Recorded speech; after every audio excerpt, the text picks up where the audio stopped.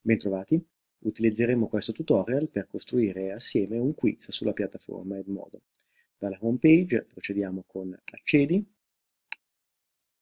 e utilizziamo le nostre credenziali per poter accedere alla nostra pagina.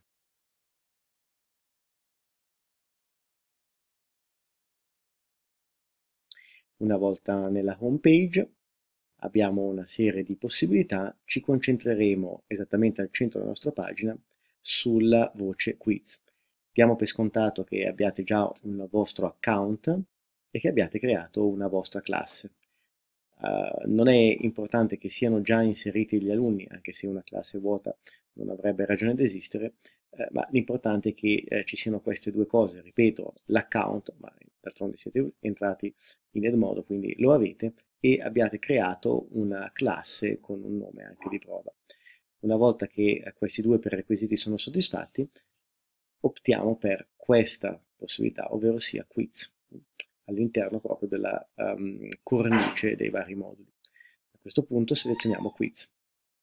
Abbiamo subito una doppia opzione, creare un quiz dal nulla oppure caricarlo dalla raccolta.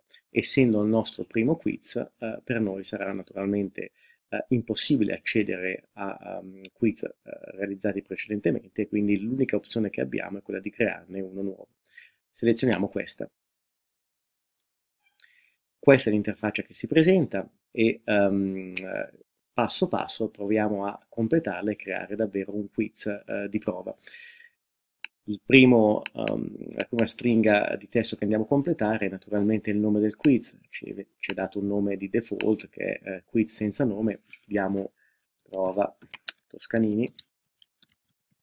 Mm, come nome di prova, diamo un limite di tempo che naturalmente eh, decideremo noi, lo facciamo breve, quindi sarà mezz'ora, il numero è espresso in minuti, e eh, a questo punto diamo un'occhiata prima di procedere alle varie opzioni abbiamo un piccolo tutorial o comunque uh, una serie di uh, aiuti che ci fornisce Edmodo.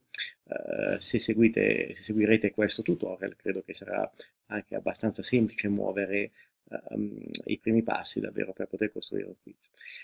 Ci spostiamo uh, solo brevemente sulla destra per il pulsante blu ben evidente che ci dice fatto, quindi che darà la possibilità di chiudere il nostro lavoro. Attenzione che fino a quando non somministreremo alla classe il eh, nostro quiz, in realtà potremo sempre tornare all'interno del quiz per editarlo, ovvero sia per eh, correggerlo o metterlo a posto. Soltanto quando un quiz è inviato alla classe, ahimè, non c'è più possibilità di eh, ritorno. Si può annullarlo e somministrarne uno nuovo, ma non si può più modificarlo con anteprima abbiamo la possibilità di vederlo eh, nella sua veste definitiva, possiamo stamparlo in formato cartaceo e possiamo anche fornire agli alunni una serie di um, osservazioni sulla compilazione. Ad esempio, eh, ricordati di leggere bene le domande e che la risposta nelle domande a scelta multipla, multipla è una sola. Ecco, una cosa del genere possiamo scrivere anche eh, in bocca al lupo. Eh. Eh, abbiamo delle opzioni, eh, sono interessanti perché ci danno due possibilità, quella di mostrare i risultati agli alunni e quindi alla fine della compilazione del test automaticamente avranno un punteggio, quindi da 1 a 5, 5 su 5, 10 su 10, insomma la possibilità di vedere i risultati e um, l'opzione che ci permette di mescolare quesiti. Uh, uh, attenzione di usare con um, un minimo di attenzione questa opzione, nel senso che uh, rimescolare quesiti vuol dire che ogni prova è um, simile a, a, quella degli alunni, ma diversa nell'ordine, quindi può essere una scelta vincente per evitare il cheating, cioè la copiatura, o potrebbe essere ehm, difficile se magari parte viene fatta passo a passo e cui tutti devono seguire. Insomma, è, uno, è un'opzione. Di solito io nelle domande ehm, do questa opzione, quindi di rimescolarlo.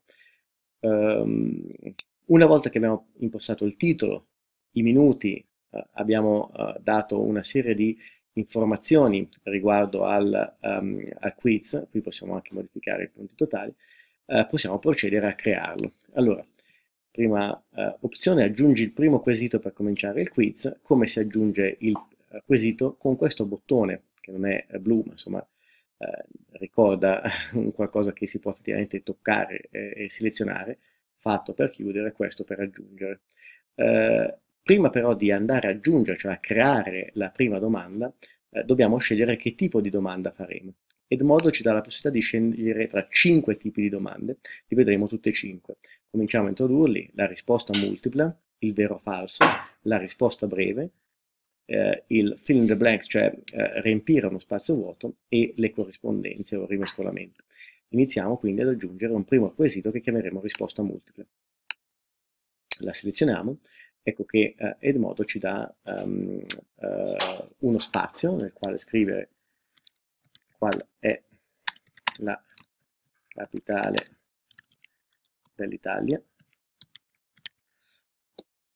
Possiamo aggiungere un link esterno, ovvero sia possiamo aggiungere una risorsa multimediale, potrebbe essere un quiz eh, legato anche alla visione di un uh, filmato e um, addirittura un uh, file cartaceo, quindi link esterni, siti web, video oppure un file cartaceo o qualcosa che abbiamo caricato precedentemente una uh, risposta e uh, una seconda è di default, uh, proprio per avere la possibilità di scegliere, perché se ce ne fosse solo una, francamente sarebbe un quiz abbastanza banale. Ma andiamo così, ehm, abbiamo la possibilità di scrivere, che so, Parigi e naturalmente Roma, per avere l'opzione di scelta.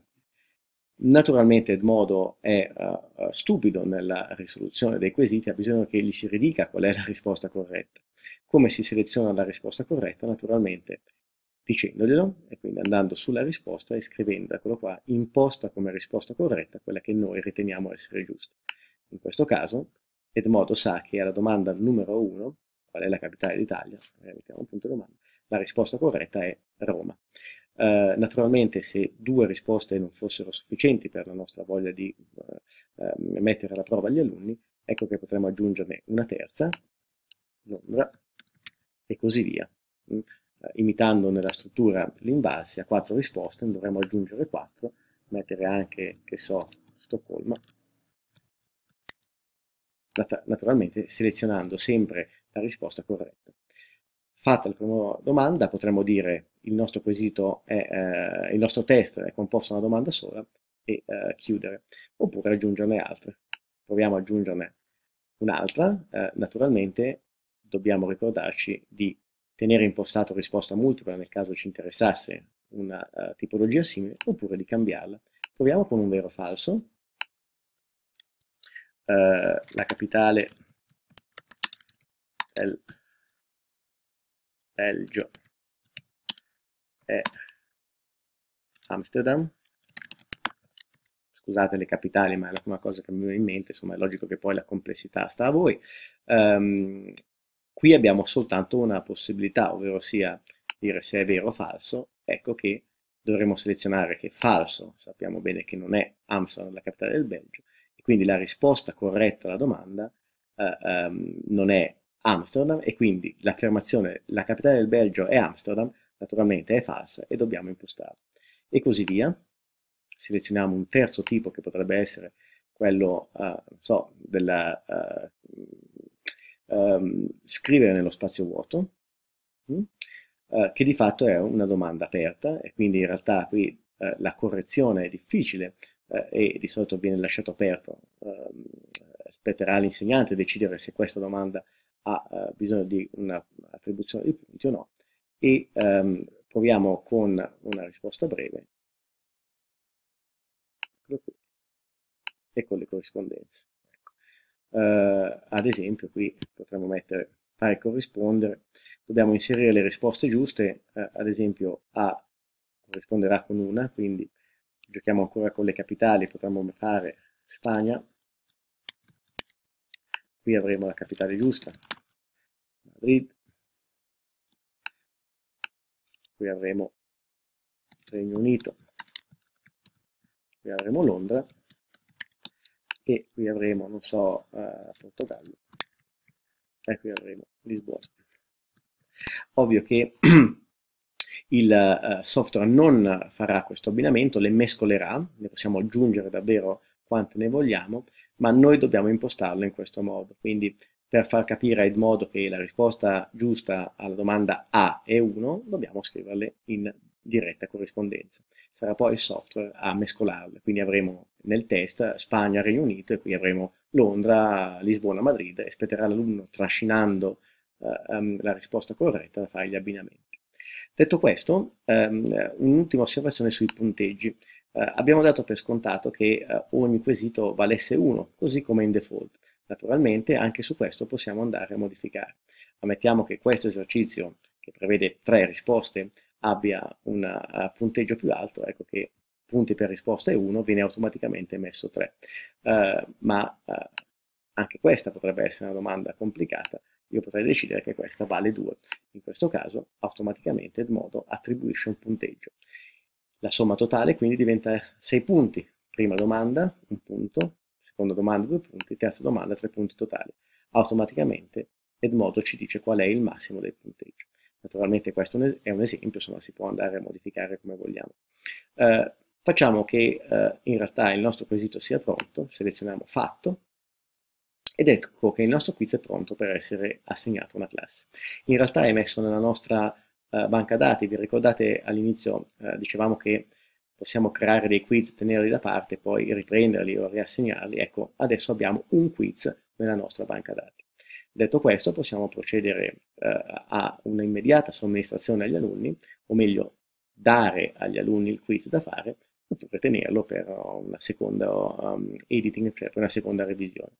Ammettiamo che questo sia veramente il quiz che vogliamo, diamo una data di scadenza, lo somministreremo agli alunni decidendo che uh, vada svolto, che so, entro uh, lunedì 5, andrà svolto a casa, quindi ammettiamo che il termine ultimo di consegna sia la mezzanotte, eccolo qui, PM o M, e da quel momento il um, uh, quiz, una volta um, inviato agli alunni, uh, sarà, um, uh, si potrà svolgerlo fino a quest'ora. Dal momento allo scoccare, la mezzanotte e un minuto, ecco, il quiz non sarà più disponibile, o meglio gli alunni lo vedranno ma non potranno più completarlo, quindi mancando la, la consegna.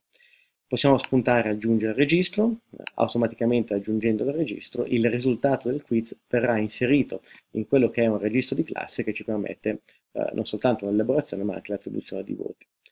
Eh, vi ricordo che questo non è il registro di classe, è il registro di Edmodo. L'ultimo eh, campo che ci rimane è quello di invio. Ah, ammettiamo che io volessi inviarlo a formazione Toscanini, questa sera è un po' lento, ecco che arriva, dovrei semplicemente selezionare il gruppo o la persona, perché potrebbe essere un, un quiz e inviamo una singola persona, e procedere a invio. Da quel momento il quiz è online. Basta così. Arrivederci.